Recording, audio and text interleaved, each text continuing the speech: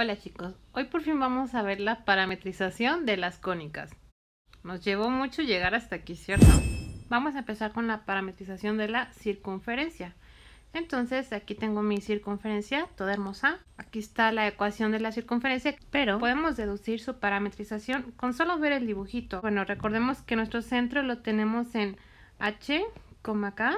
Vamos a fijarnos qué forma tienen estos puntos.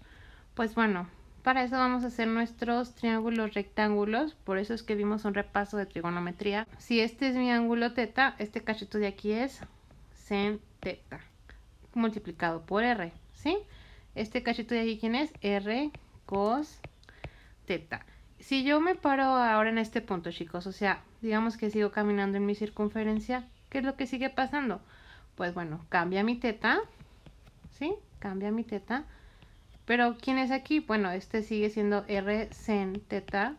Y aquí abajo sigo teniendo R cos teta, ¿sí? Entonces me paro en otro punto. Este sigue siendo mi radio R. Aquí sigo teniendo R seno de teta. Y bueno, sin importar hasta dónde vaya. Por ejemplo, para acá, chicos. Entonces aquí ya tengo un teta como súper grande. ¿Quién es esta altura? Pues esta altura es R sen teta, como lo ve antes. ¿Quién es esto de aquí? Pues esto sigue siendo R coseno de teta. Y bueno, eso sigue pasando sin importar dónde me pare, ¿sí? O sea, si ahora ya me paro en este punto, pues abro mi teta, ¿sí? Y otra vez aquí tengo que lo que bajé, pues sigue siendo R seno de teta. Y lo que me mueve las X es R coseno de teta. Entonces vamos a fijarnos en las coordenadas de cada punto que marqué. Recuerdo que empecé en el centro H acá, entonces la coordenada empieza con H más. ¿Y cuánto me moví aquí? Ah, pues me moví R coseno de teta. ¿Qué pasa en las Y? Bueno, empecé con K, entonces tengo K más. ¿Y cuánto es lo que subí? Pues subí R seno de teta, ¿ok? En este punto pues también, chicos, o sea, es justamente lo mismo. Ustedes dicen, bueno, pero aquí bajé. Pero la cuestión es que ahora aquí, pues el seno para esta teta va a ser negativo, entonces sí se va a estar restando, ¿sí? Entonces, ¿cuáles son estas coordenadas? ¿Cuál es la coordenada de este punto? Pues es justamente h más r coseno de teta, coma k más r seno de teta. ¿Sí? Muy bien. Entonces va de nuevo, ¿por qué estoy sumando H y K? Pues bueno, es donde estoy empezando. Es decir, es donde está mi centro. ¿Y qué estoy agregando? Pues estoy agregando lo que me muevo. Entonces aquí chicos, ¿quién es mi parámetro? Mi parámetro es teta. Notemos que yo puedo hacer una circunferencia cada vez que me mueva 360 grados, ¿sí? Cada vez que rote 360 grados.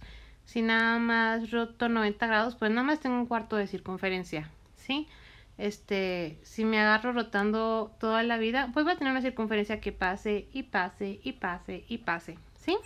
Muy bien, vamos a parametrizar la elipse y vamos a utilizar su ecuación. Entonces, lo primero que voy a hacer es agrupar estos dos cuadrados y también agrupar estos dos cuadrados, ya saqué los cuadrados que les había dicho. Muy bien, ahora, este, voy a pensar en alguna identidad trigonométrica que se parezca a esto y sería bueno que me recordara la parametrización de la circunferencia, porque si lo pensamos, pues la elipse es bastante parecida a la circunferencia. ¿Qué identidad suena a eso? Pues bueno, aquí tengo esta identidad. Entonces, ¿por qué digo que tiene la forma de la ecuación?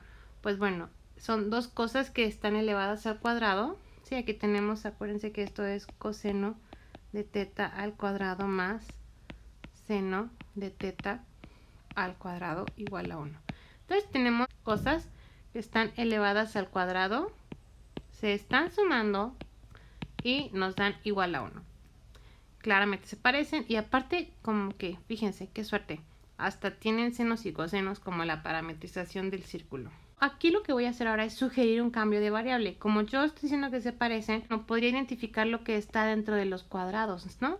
Entonces justamente eso es lo que voy a hacer. Voy a identificar coseno de teta coseno de teta con lo que le tocaría acá, x menos h entre a. El seno de teta ahora, ¿ese con quién se correspondería? Pues con y menos k entre b. Listo, y menos k entre b. Ahora chicos, ya que los identifiqué de manera que me convenga, pues hay que acordarnos que nosotros queremos dar una parametrización. Quiero poner a X y a Y en función de teta, ¿sí? Cuando digo en función me refiero a hacerlas depender de teta. Pues voy a despejar X y también voy a despejar Y.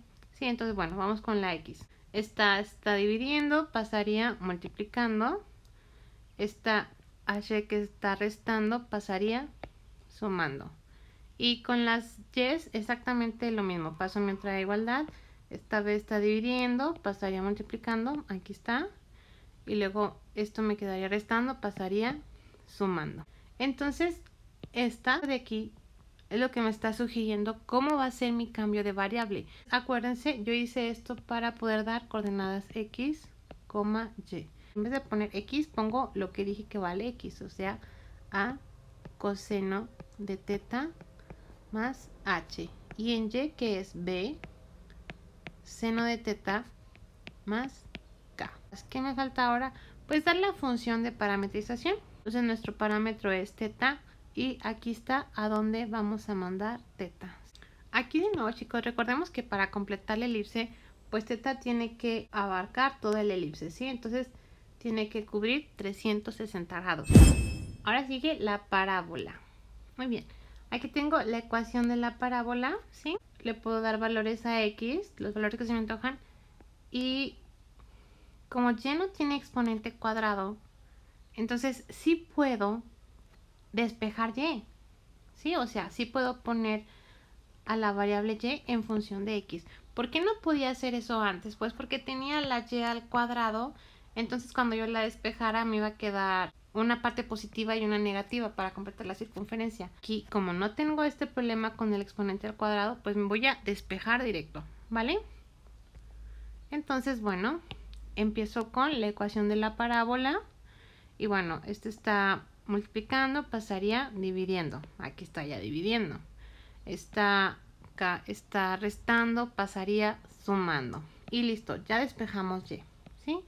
Ustedes podrían decir, bueno, o sea, entonces me agarro y igual a f de x, considerándome el despeje que acabo de hacer, ¿sí?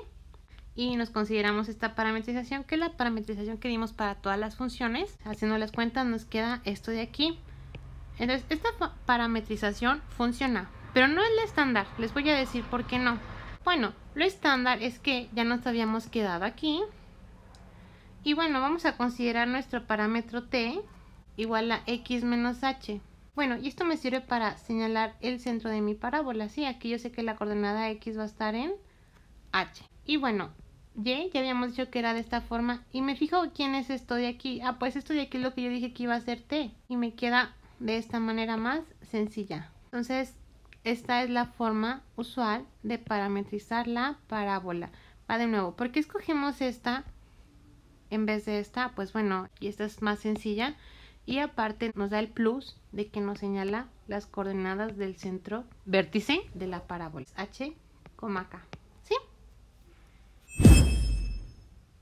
La hipérbola. Uf, ya casi terminamos, chicos. Para la hipérbola voy a utilizar un truco parecido al que utilicé con la elipse. No más que ahora voy a ocupar una identidad que en vez de tener signo positivo tenga signo negativo. La primera cosa que voy a notar es que aquí ya no puedo seguir utilizando senos y cosenos. ¿Por qué no? Bueno, lo que pasa es que el coseno lo que hacía era hacernos variar cierta distancia alrededor del centro. Pero aquí justo es lo que no queremos marcar, ¿sí? O sea, queremos marcar lo que está afuera. Vamos a empezar por tomar la ecuación, ¿sí? Y otra vez, agrupamos los cuadrados. Entonces nos queda de esta manera. ¿Habrá alguna identidad que sea la diferencia de dos cosas al cuadrado y nos den uno? Hmm. Pues bueno, aquí está, ¿sí? Es la que vimos en el video pasado. Ya que elegí esta identidad, me toca identificar lo que está dentro de los cuadrados, ¿sí? Entonces, en el primer cuadrado tengo secante de teta, secante de teta. ¿Con qué me toca identificarlo? me toca identificarlo con x menos h entre a. ¿Con quién me toca identificar a tangente de teta? Me toca identificarlo con y menos k entre b. Y pues bueno, eso es lo que hago. Ahora, ¿qué es lo que sigue? Otra vez, chicos, yo quiero dar una parametrización. Quiero decir, debo de dar el valor que han de tener las coordenadas x, y. Entonces voy a despejar x y y. Entonces, bueno, este primero esta está dividiendo, pasaría multiplicando. Esta h quedaría, está restando, pasaría sumando. Ahora vamos con la siguiente igualdad. Entonces, esta b está dividiendo, pasaría multiplicando. Esta acá está restando, pasaría sumando. Ahora sí ya tengo a x en función de teta, a y en función de teta, ¿sí? Y esto ya me permite dar mi parametrización, quiere decir que teta es mi parámetro que define la coordenada x y a la coordenada y. Y listo chicos, ya terminamos. Yay. Nos vemos.